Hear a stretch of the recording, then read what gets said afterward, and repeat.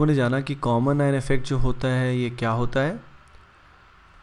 इस वीडियो में आप लोग जानेंगे कि उसको अप्लाई कैसे करते हैं with the help of an example so guys let us see the example अब इस एग्ज़ाम्पल में again we have taken a weak acid acetic acid जो सोल्यूशन में ऑलरेडी मौजूद था। एसिटिक एसिड का डिसोसिएशन होकर एसिटेट आयन बनता है और साथ में एच प्लस बनता है। इस केस में इक्लिब्रियम में एज्यूम करते हैं कि जो एसिटिक एसिड है, इसका कॉन्सेंट्रेशन है सी माइनस सी अल्फ़ा और ये जो एसिडेट आयन है, इसका कॉन्सेंट्रेशन है सी अल्फ़ा और H प्लस का कॉन्सेंट्रेशन भी है सी अल्फ़ा अब हमने क्या किया? एक स्ट्रॉन्ग इलेक्ट्रोलाइट सॉल्यूशन में ऐड किया which is H C L H C L का कॉन्सेंट्रेशन सी वन मानते हैं इनिशियली तो इन दोनों का ज़ीरो होगा। पर after some time reaction will be complete और H प्लस भी सी वन के इक्वल होगा सी एल माइनस भी सी वन के इक्वल होगा। तो आपने देखा H प्लस का जो कॉन्सेंट्रेशन है, अब सिर्फ़ सी अल्फ़ा ना होके इसका कॉन्ट्रीब्यूशन भी यहाँ पे होगा तो net H plus concentration will be C alpha plus C one तो आपने देखा, ये जो सी वन हमने ऐड किया इसमें, वो किसकी वजह से ऐड किया? एच सी एल की वजह से ऐड किया।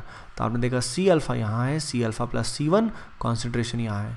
जैसे आपको पता है कि इक्लिब्रियम कांस्टेंट की वैल्यू जो रहती है इट इज़ अ कांस्टेंट तो वो जो वैल्यू आएगी it will be equal to concentration of product, that is C alpha into C alpha plus C1 divide by C minus C alpha अब इसमें हम C को इस C से कैंसिल कर सकते हैं, जिससे सिंप्लीफाई होकर आ जाएगा alpha into C alpha one plus C one divide by one minus alpha अब देखिए, मान लीजिए जो अल्फ़ा है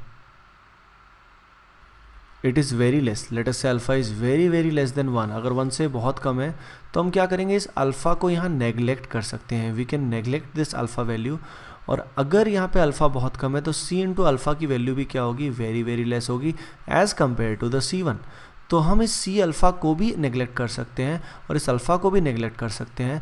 अगर हम इन दोनों को नेगलेक्ट करते हैं तो ऐसे केस में it is alpha and it is C one C C alpha को हमने इग्नोर किया और नीचे रह गया सिर्फ़ वन तो इस केस में अगर अल्फ़ा की वैल्यू यानी नया डिग्री ऑफ़ डिसोसिएशन जो आएगा that will be K divide by C one यानी equilibrium constant divide by C one C one क्या है? आप ध्यान दीजिए it is the concentration of H C L लेकिन अगर यहाँ पे हम अप्रॉक्सीमेशन नहीं करते हैं, अल्फ़ा की वैल्यू लेस देन वन इतनी कम नहीं होती है तो ऐसे केस में आपको पूरी क्वाड्रेटिक इक्वेशन को सॉल्व करना पड़ेगा. Otherwise when the alpha is low you can directly use formula number one अगर आपको पुराना फार्मूला अल्फ़ा का याद है तो पुराना फार्मूला जो अल्फ़ा का होता था उस केस में C1 की बजाय यहाँ पे C का यूज़ होता था। तो यहाँ पे आपने देखा कॉन्सेंट्रेशन के बढ़ने की वजह से अल्फ़ा की वैल्यू पहले के कंपैरेटिवली क्या हो जाएगी? डिक्रीज हो जाएगी। सो so, आइए स्टूडेंट्स देखते हैं एक एग्ज़ाम्पल इस एग्ज़ाम्पल में you have to calculate concentration of each species at equilibrium अब इसमें हमने क्या लिया है? 0.1 मोलर NH4Cl अमोनियम क्लोराइड लिया है विद 0.1 m NH4OH और Kb की वैल्यू गिवन है 1.8 पॉइंट इंटू टेन की पार माइनस फाइव तो Kb की वैल्यू किसके लिए गिवन है? ये जो वीक इलेक्ट्रोलाइट है, यानी वीक बेस है, इसके लिए गिवन है। तो सबसे पहले आपको आइडेंटिफाई करना है कि यहाँ पे वीक इलेक्ट्रोलाइट कौन सा है और स्ट्रॉन्ग कौन सा है।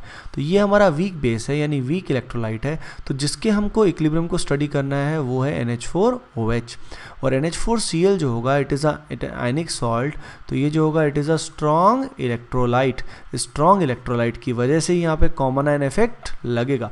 कैसे आइडिया लग रहा है कि कॉमन आयन इफ़ेक्ट का क्वेश्चन है? तो अगर आप नोटिस करें N H four C L हमको प्रोवाइड करेगा क्या? एन एच फोर प्लस और N H four O H भी हमें क्या प्रोवाइड करेगा? एन एच फोर प्लस तो आइए देखते हैं इसके अंदर फाइनली कॉन्सेंट्रेशन हर एक स्पीसी की कैसे निकाली जाए। तो देखिए स्टूडेंट्स यहाँ पे हमें दो इक्वेशंस लिखनी होंगी। सबसे पहले हम इक्लिब्रियम को रिप्रेजेंट करेंगे, जो होगा हमेशा वीक इलेक्ट्रोलाइट का। जैसे कि आप जानते हैं NH4OH की इनिशियल कॉन्सेंट्रेशन 0.1 है और लेट अस एज्यूम इसका अल्फ़ा होगा डिग्री ऑफ़ डिसोसिएशन तो at equilibrium N H four O H का जो कॉन्सेंट्रेशन होगा it will be C minus C alpha यानी 0.1 minus zero point one alpha will be the concentration of N H four O H at equilibrium इसी समय पे NH4 plus जो होगा, उसका कॉन्सेंट्रेशन आएगा 0.1 अल्फ़ा और OH माइनस भी होगा 0.1 अल्फ़ा अब हमने मान लीजिए सोल्यूशन में डाल दिया है NH4Cl को, जिसका इनिशियल कॉन्सेंट्रेशन 0.1 था, पर ये पूरा डिसोसिएट होके 0.1 मोलर NH4 प्लस में कन्वर्ट हुआ और 0.1 Cl नेगेटिव में कन्वर्ट हुआ। इस 0.1 के कंट्रीब्यूशन की वजह से NH4 का नेट जो कॉन्सेंट्रेशन है इट इज़ 0.1 प्लस 0.1 ये जो 0.1 कंट्रीब्यूशन आया, ये नीचे वाले NH4 प्लस की वजह से आया। अब देखिए, ऐसे केस में जो के की वैल्यू होगी इट इज़ इक्वल टू ये होगी के की वैल्यू। इस के की वैल्यू को अगर मैं सिंप्लीफाई करता हूँ तो what I get is 0.1 point one into alpha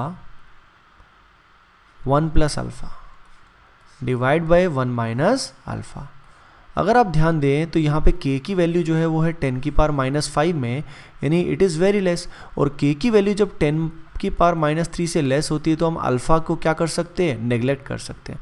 अगर अल्फ़ा को हम नेग्लेक्ट करेंगे तो ऐसे केस में हम वन माइनस अल्फ़ा को अप्रॉक्सीमेटली क्या मानेंगे? वन मानेंगे।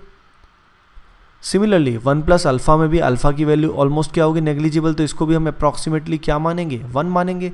इसका मतलब जो के बी की equation I it is simply zero point one into alpha इससे जो अल्फ़ा की वैल्यू आएगी, वो आएगी K b divide by zero point one यानी ten times K b K b की वैल्यू आप सभी को पता है तो उसको टेन टाइम्स करेंगे तो it will be one point eight into ten की पार माइनस फोर अब ये हुई अल्फ़ा की वैल्यू इस बेसिस पे एन एच फोर प्लस की फाइनल कॉन्सेंट्रेशन क्या होगी? 0.1 plus 0.1 point one into one point eight into ten की बार माइनस फोर और यहाँ पे ओ एच माइनस का कॉन्सेंट्रेशन होगा 0.1 पॉइंट वन इंटू अल्फ़ा तो आप इससे ये वैल्यूज़ निकाल सकते हैं।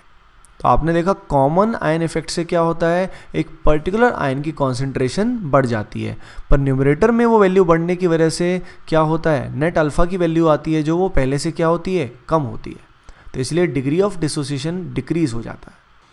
So guys in the next video हम लोग जानेंगे कि ओस्ट वर्ल्ड डाइल्यूशन लॉ क्या होता है। We will see Ostwald dilution law till then keep watching sharing and subscribing